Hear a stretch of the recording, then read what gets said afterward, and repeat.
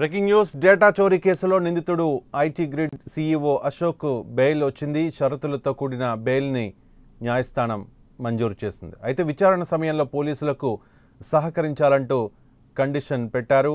అలాగే తెలంగాణ విడిచి వెళ్ళరాదంటూ న్యాయస్థానం షరతు విధించింది.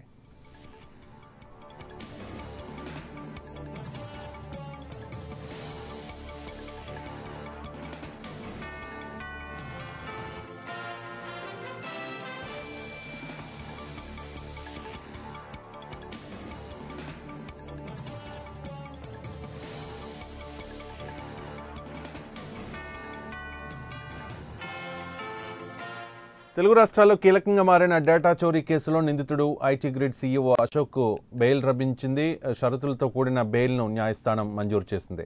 అయితే విచారణ సమయంలో పోలీసులకు సహకరించాలంటూ న్యాయస్థానం కండిషన్ పెట్టింది. అలాగే తెలంగాణ విడిచి వెళ్ళరాదంటూ న్యాయ న్యాయస్థానం షరతు విధించింది.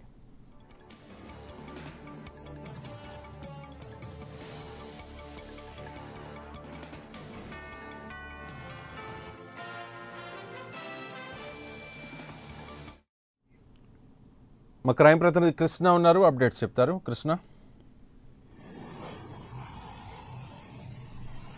తెలుగు రాష్ట్రాల్లో సంచలనం సృష్టించిన ఐటీ గ్రేడ్ కేసు వ్యవహారానికి సంబంధించి హైకోర్టు ఈరోజు కీలకమైన నిర్ణయాలు తీసుకోవడం జరిగింది. ఇందులో ప్రధాన నిందితుడుగా ఎవరైతే అశోక్ అని చెప్పేసి పోలీసులు నిందితుడుగా భావించడం జరిగిందో అశోక్ ఆ తర్వాత అతని భార్య లక్ష్మికి ఈ షరతులతో కూడిన బెయిల్ మంజూరు చేస్తూ హైకోర్టు ఆదేశాలు జారీ చేయడం జరిగింది. ఇందులో కొన్ని షరతులు కూడా విధించడం జరిగింది. ఏదైతే ఈ రెండు రాష్ట్రాలు అటు తెలంగాణ కానీ ఆంధ్రప్రదేశ్కి సంబంధించిన ఈ రాష్ట్రాలు వీడి దేశం దాటి ఎక్కడికి పోకూడదు అలాగే ప్రతి వారం పోలీసుల చేత విచారణకు హాజరు కావాలి సాక్షులను ఎట్టి పరిస్థితుల్లో ప్రభావితం చేయకూడదు అని చెప్పి కూడా ఆదేశాలు జారీ చేయడం జరిగింది. పోలీసుల విచారణ సమయంలో పోలీసులకు పూర్తిగా సహకారం చేయాలి.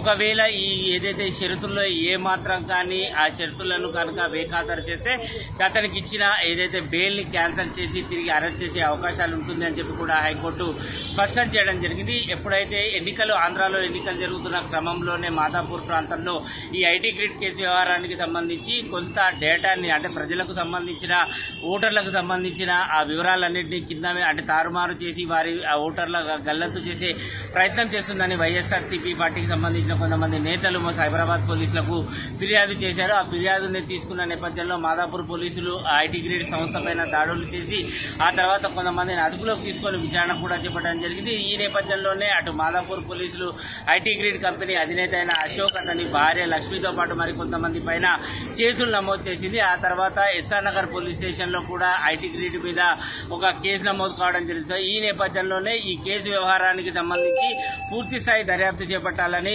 తెలంగాణ ప్రభుత్వం సిట్కి ఆ దర్యాప్తు బాధ్యతలు అప్పగిస్తూ ఐడియా ఎవరైతే అప్పట్లో ఐజీ స్టీఫెన్ రవీంద్ర ఉన్నారో ఆయనకి ఇన్వెస్టిగేషన్ అధికారిగా బాధ్యతలు అప్పగించడం జరిగింది. గోశామాల్లో ప్రత్యేక సిట్ కార్యాలయాన్ని ఏర్పాటు చేసిన తర్వాత ఈ కేసు వ్యవహారానికి సంబంధించి దర్యాప్తు చేస్తున్న క్రమంలో కేవలం ఆంధ్రప్రదేశ్కే కాకుండా తెలంగాణ ప్రాంతానికి సంబంధించిన ఓటర్ల వివరాలు కూడా ఉన్నాయి. వారికి సంబంధించిన కొంత డాటాను కూడా ఇతర ప్రాంతాలకు పంపించి వారి ఓటర్లకు సంబంధించిన పే పేర్లు గల్లంతు చేసే వ్యవహారం కూడా ఉంది అని చెప్పేసి ఇందులో కొంత దర్యాప్తులో తేలడం జరిగింది. ఈ వ్యవహారం అటు తెలంగాణలో కాదు ఆంధ్రాలో మాత్రం పెద్ద దుమారమే రాజకీయ దుమారం మోగింది. ఈ కేసులో ఎవరు అరెస్ట్ అవుతారు? ఏంటి అన్న కోణంలో అయితే అశోక్ అశోక్ అశోక్ అజ్ఞాతంలోకి వెళ్ళిపోవడం ఆ తర్వాత సిట్ పోలీసులు దాదాపు దాదాపు మూడు టీములు అశోక్ కోసం తీవ్రంగా గాలించాయి సో ఈ క్రమంలోనే అశోక్ ఎక్కడ ఉన్నాడు ఏంటి అన్న విషయంలో తెలుగుదేశం పార్టీకి సంబంధించి అప్పట్లో అధికారంలో ఉన్న సమయంలో అశోక్ అక్కడే ఆంధ్ర పోలీసుల దగ్గరే సురక్షితంగా ఉన్నాడు. అతను తీసుకురావడం కొంత ఇబ్బందిగా ఉంది అని చెప్పి హైకోర్టుకు గతంలోనే తెలంగాణ సిట్ పోలీసులు ఒక నివేదిక కూడా సమర్పించారు. ఇప్పుడు ఆంధ్రాలో కూడా రాజకీయ పరిణామాలు అనేవి చాలా చోటు చేసుకోవడం ఆ తర్వాత వైఎస్ఆర్ సిపి పార్టీ అధికారంలోకి రావడం ఈ కేసు వ్యవహారానికి సంబంధించి వైఎస్ఆర్ సిపిఏ బట్టబయలు చేసింది కాబట్టి ఇక్కడ అక్కడ ఉండడం అంత సేఫ్ కాదని భావించిన అశోక్ తన టీం నలుగురితో కలిసి మొదట రంగారెడ్డి జిల్లా ఎల్బీనగర్ కోర్టులో బెయిల్ పిటిషన్ దాఖలు చేశారు. అక్కడ బెయిల్ రద్దు చేయడంతో తిరిగి అతను హైకోర్టులో ఆ పిటిషన్ దాఖలు చేయడం జరిగింది. ఈ కేసు వ్యవహారానికి సంబంధించి ఖచ్చితంగా తాను అందుబాటులో ఉంటానని తాను పోలీసులకు పూర్తిగా సహకరిస్తారని పదే పదే హైకోర్టుకు విన్నవించిన తర్వాత